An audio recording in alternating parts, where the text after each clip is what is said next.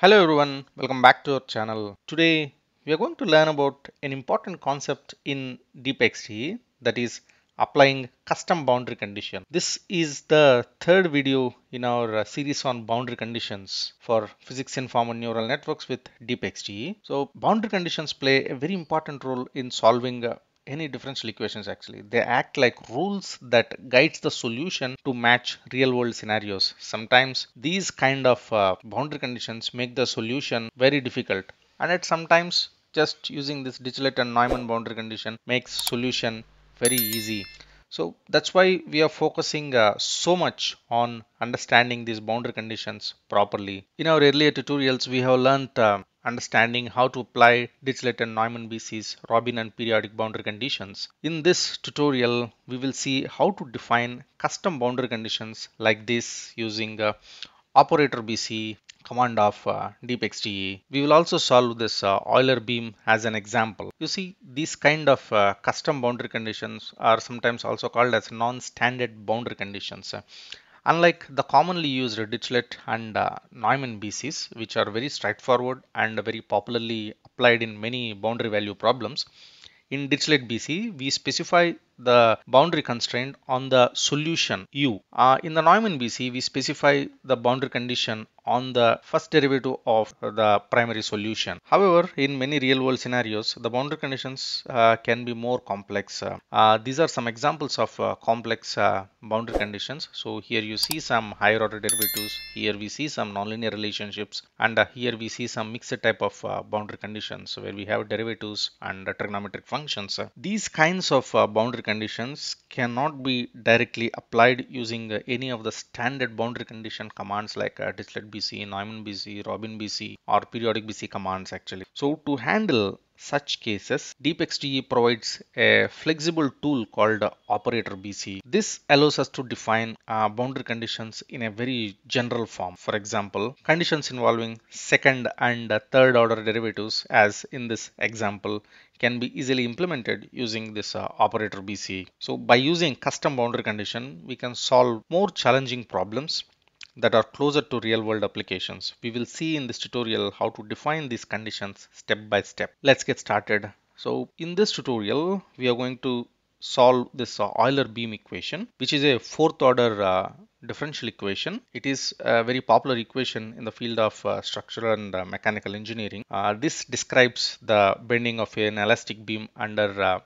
uh, uniformly distributed load. Here u of x uh, represents the displacement of the beam as a function of spatial x coordinate. We are solving this equation in the domain 0 comma 1 if you see this as a beam so this is our 0 end and this is our l end. At 0 we are applying a Dirichlet boundary condition. U of 0 is equals to 0 and uh, we are applying the Neumann boundary condition u dash of 0 is equal to 0 also at the same end. So this is our Dirichlet and this is our Neumann boundary condition. But on the other end, uh, this L is equals to 1. So here we are applying two special boundary conditions u double dash and uh, u triple dash. So this is a second derivative and this is a third derivative. At 1 we are applying 0 this also at 1 we are applying 0 so this is uh, what we are going to apply this uh, operator boundary condition. This is our uh, analytical solution. So we will use this uh, analytical solution only to verify the accuracy of our uh,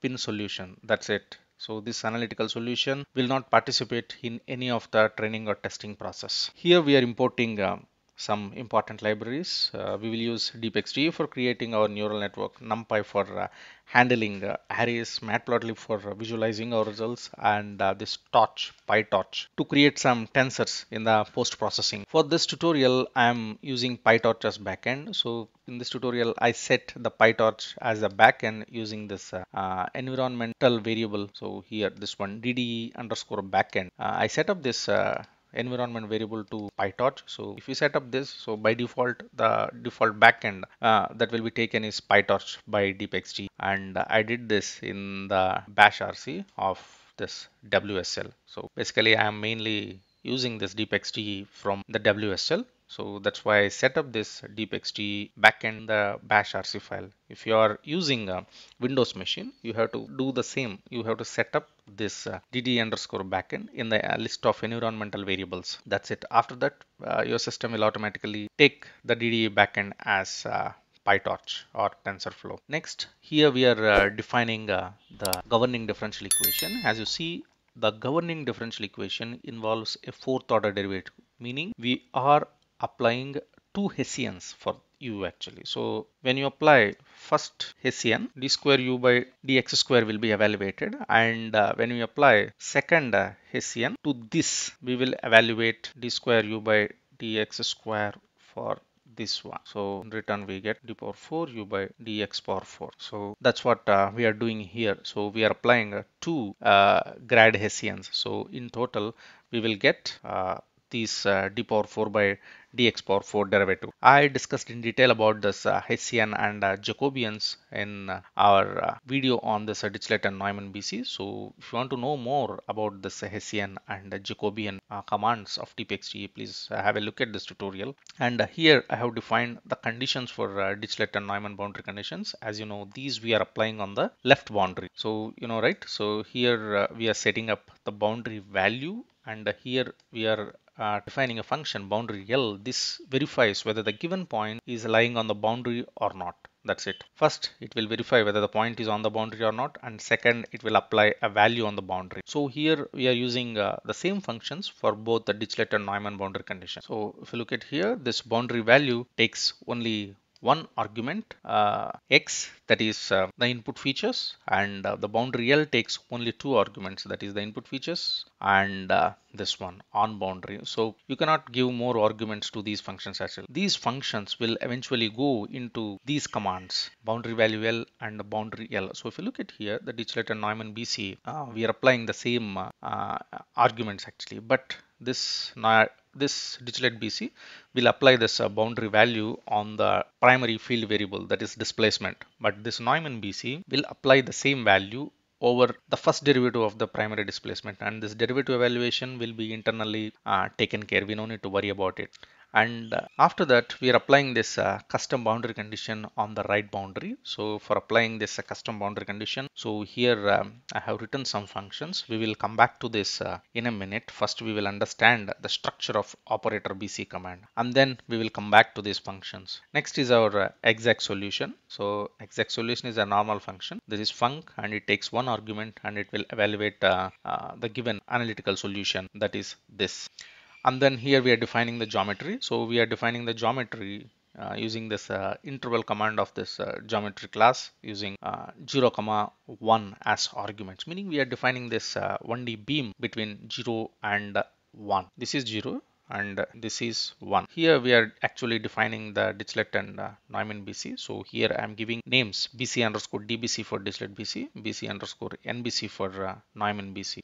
And next is the operator BC. Here I have written a detailed explanation over this uh, operator BC. Using this uh, operator BC class, you can enforce any condition that can be expressed mathematically including conditions like uh, higher order derivatives, nonlinear relationships or mixed type of conditions. With operator BC you will be able to specify the boundary conditions in the form of a function and that function takes three arguments inputs, outputs and x as I defined here. Inputs are the input tensor. So in our uh, uh, Euler beam problem, so these inputs are just a spatial x coordinates. That's it. But the main thing is this input has to be given in the form of a tensor of corresponding library. So if it is a PyTorch, so you have to input this uh, PyTorch tensor. If it is a TensorFlow, you have to input this inputs as TensorFlow tensor.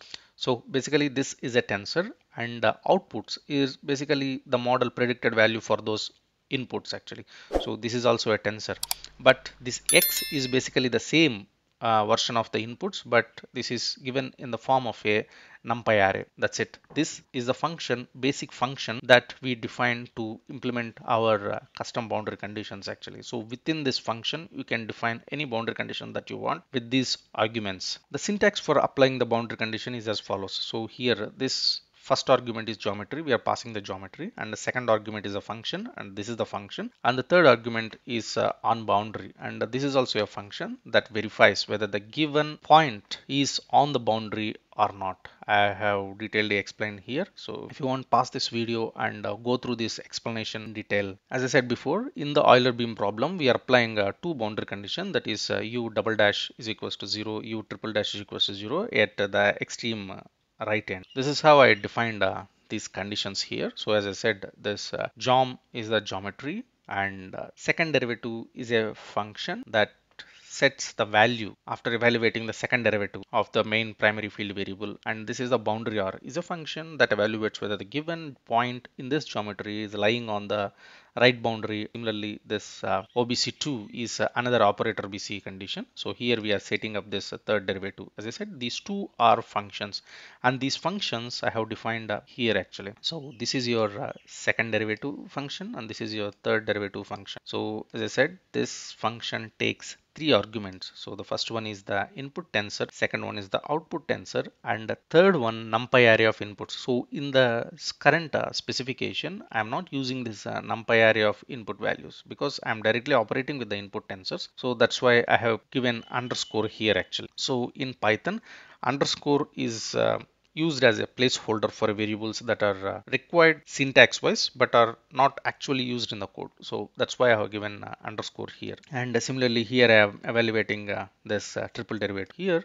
ddy and uh, triple dy. These are again another some functions. So these functions i have defined. So what basically ddy does is it will evaluate the hessian meaning the second derivative.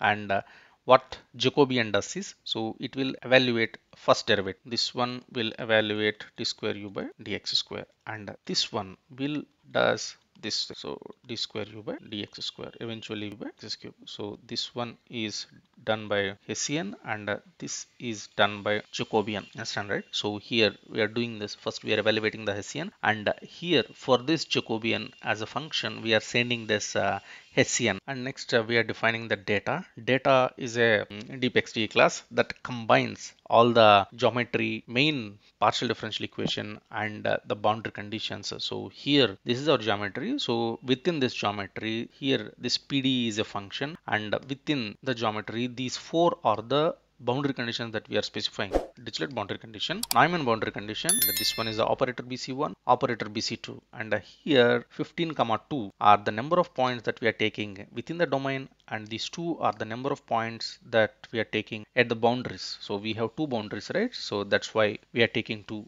one on the left and the other one is on the right and here this is a solution function. So this function is used only for evaluating this uh, relative error. That's it. And uh, here we are defining this uh, num test. So here i have to mention one thing. So in our telegram group one student asked about uh, why the num test points are higher than the training points. So if you look at here num test we are taken 100 and for uh, training we are taken 17 combinedly. So the point here is num test refers to the number of points across both the domain and the boundary Use it to evaluate the model after training. You can choose any number of points for training and testing independently as they serve different purposes. So here we use 100 points for testing and changing this number does not affect the training process. And for training we used uh, 17 points in total and these points are uh, chosen based on the desired accuracy of the result. If the predictions are poor, you may have to increase these points. If the predictions are uh, very better, you may reduce these uh, points to save some computational cost. But changing this number